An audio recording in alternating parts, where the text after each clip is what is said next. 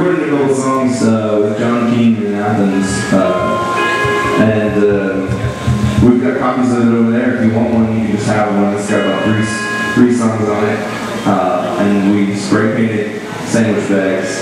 And if you want to give us a dollar to cover sandwich bag costs, you know, with inflation, sandwich bags are getting pretty pricey.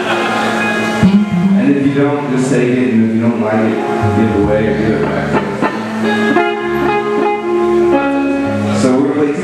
Songs, and the second of these two songs is on there. came